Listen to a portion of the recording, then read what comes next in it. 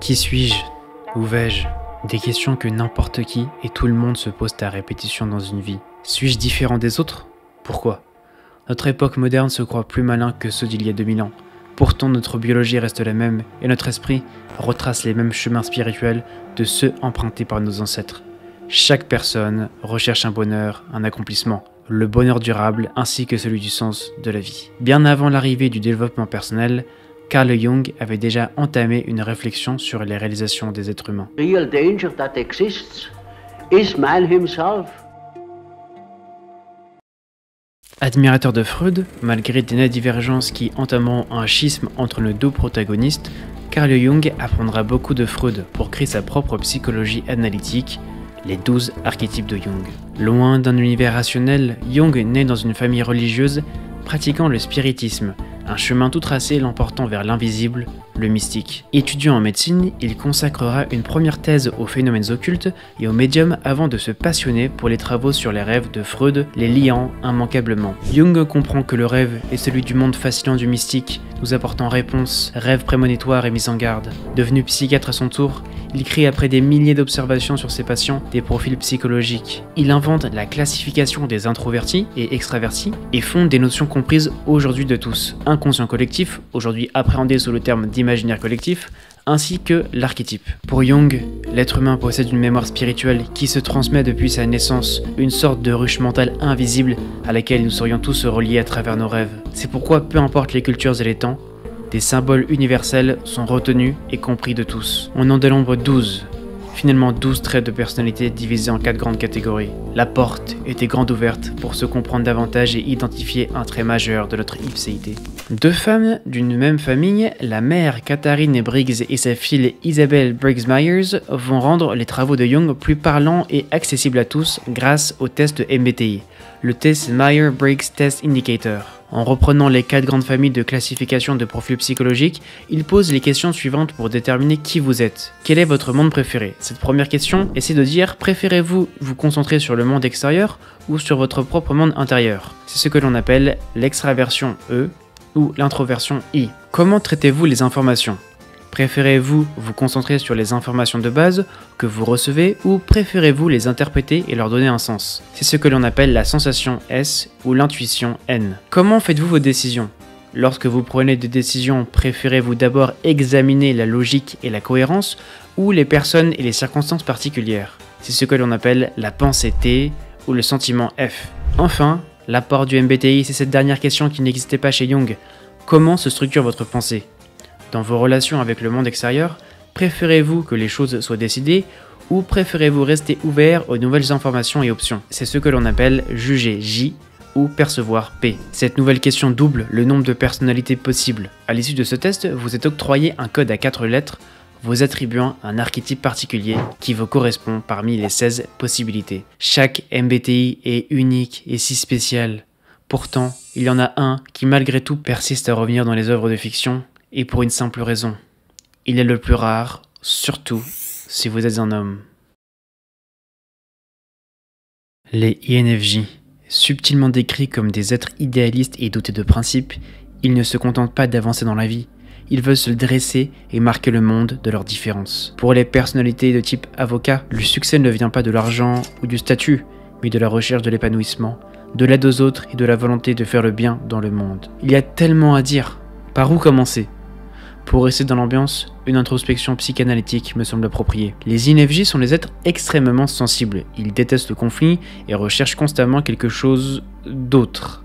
Un accès vers une compréhension ultime et inaltérable de ce qui les entoure. Aider son prochain, voilà son principal but. Très à l'écoute et extraordinairement émotionnellement intelligent, les INFJ comprennent les états d'âme de chacun au moindre regard. Ils ont des facilités pour entrer en contact avec les autres et ont du talent pour produire une langue chaleureuse et sensible et pour parler en termes humains plutôt qu'en termes purement logiques et factuels. S'ils sont de très bons conseillers, leur dévouement aux autres peut les mener à s'oublier eux-mêmes, quitte à devenir des éponges émotionnelles, perdants. Au premier abord, les INFJ semblent extravertis, cependant ce sont des loups solitaires. Ils ont besoin d'un repli sur eux très régulier pour se ressourcer, plusieurs fois par jour notamment. Leur incessante nature curieuse, d'une profonde recherche d'un infini divin quelque part, les force à s'isoler pour réfléchir. Ce type de personnalité se retrouve parfois dans le rôle principal de certaines œuvres. Pourtant, Pourquoi choisir un héros dont la personnalité est si rare? Par quel moyen le spectateur peut-il s'identifier à cette personne si différente? Si ce qui est mis en avant au premier abord est cette extrême sensibilité et l'aide de son prochain, n'importe qui peut en comprendre le sens et se sentir engagé. Mais sera-t-il touché de quelque chose qu'il ne partage pas totalement?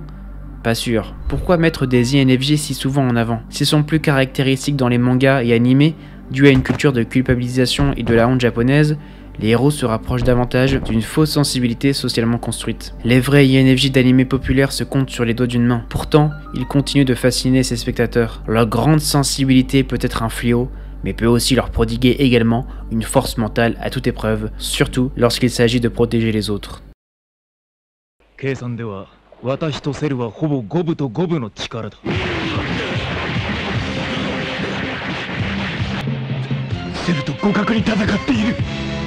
何が楽しい？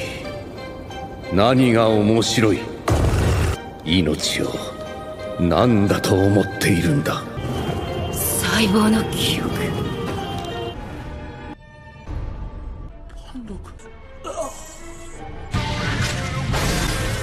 ダメじゃないか。サトルに教わらなかったかい？呪いは少し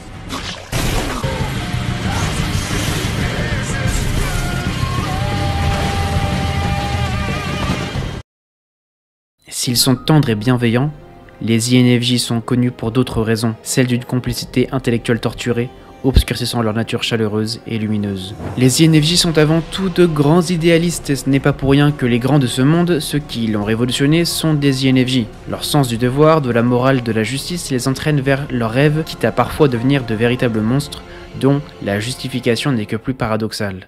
La fin justifie les moyens. Itachi Uchiha en est l'exemple parfait. Il représente même une doctrine philosophique, celle de l'utilitarisme. Développé par Jaraman Bentham en 1781, fonde la morale sur la recherche du maximum de bonheur individuel pour le plus grand nombre. L'utilitarisme s'appuie sur une technique de calcul des plaisirs et des peines pour assurer les meilleures conditions du bonheur. Pour Bentham, l'utilitariste est plus individuel et représente un comportement à adopter pour se réaliser. Son disciple Mill imaginera plutôt un utilitarisme social où le bonheur maximal du plus grand nombre est souhaitable. L'utilitarisme de Mill porte le signe distinctif de l'impartialité. Le bonheur d'une personne vaut le même qu'une autre. C'est pourquoi, pour cela, il faut être prêt à devenir insensible, à dépasser ses malaises pour servir ses principes et commettre, par exemple, des atrocités pour servir à l'intérêt général. Entendons-nous, je ne fais pas un plaidoyer de l'utilitarisme ni de la violence, je tente de décrire ce qu'il peut se passer dans l'esprit des INFJ et ce que l'utilitarisme entend derrière sa philosophie. Itachi Uchiha, un des protagonistes les plus forts de l'œuvre de Naruto, est un si gentil garçon qui pourtant décida de tuer tout son propre clan pour empêcher un coup d'état que le clan préparait et sauver son frère, préférant la survie d'un village tout entier que celle de son clan. Les détracteurs de l'utilitarisme critiquent cette doctrine en expliquant que commettre des atrocités pour servir l'intérêt général, ce paradoxe provoquerait un tel déchirement interne qu'il serait irréversible et irrémédiable. Mais Itachi défie cette critique. Il démontre que l'on peut commettre les pires atrocités et garder les sentiments purs et intègres qui nous ont poussés à les commettre. Itachi ne devient jamais corrompu. Son amour du village de Konoha et son amour pour son petit frère restent toujours inaltérés. Itachi arrive à œuvrer pour le bien collectif tout en restant impartial vis-à-vis -vis de lui-même, tout en restant qui il est, faisant de lui l'utilitariste parfait selon cette doctrine philosophique. Évidemment, d'autres INFJ sont plus sombres, plus torturés comme Johann Liebert, le psychopathe charismatique et génie du mal derrière le polar du manga de Naoki Urasawa, Monster. À la suite d'une expérience militaire eugéniste tchécoslovaque dont le but premier était de créer une race supérieure, un enfant naît et est confronté très jeune à un massacre de masse, transformant sa psyché. Le résultat de cette expérience, c'est Johann Liebert, un être possédant le meilleur des gènes pour produire un monstre, un personnage très sensible et intelligent, qui utilisera ses talents pour choisir son propre objectif, échappant au contrôle de ses créateurs, manipuler absolument tout dans le seul but de détruire le monde et de devenir le dernier homme en vie avant de décider d'un suicide parfait. Mourir sans laisser aucune preuve de son existence, incarnant la force divine. Johan n'est pas simplement monstrueux puisqu'il semble parfait et inarrêtable, mais c'est surtout la jouissance qu'il tire de la destruction qu'il cause, mais également le fait qu'il est particulièrement insensible à sa vision nihiliste qui le conduit à avoir des idéaux et des pensées de la vie qui représentent le vide, comme s'il essaie inconsciemment de blesser des réponses significatives sur son existence. Johann Liebert est devenu avec le temps l'archétype du psychopathe dans la pop culture.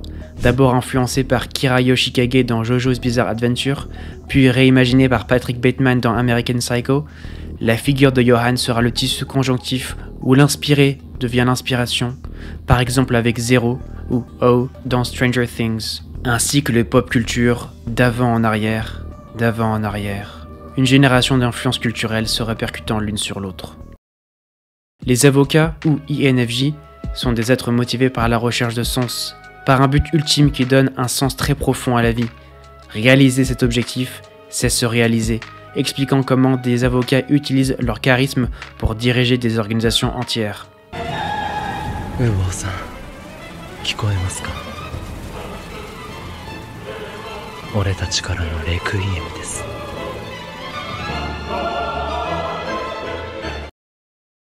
Quoi qu'on en dise, ces INFJ dangereux que nous avons rencontrés aujourd'hui sont minoritaires.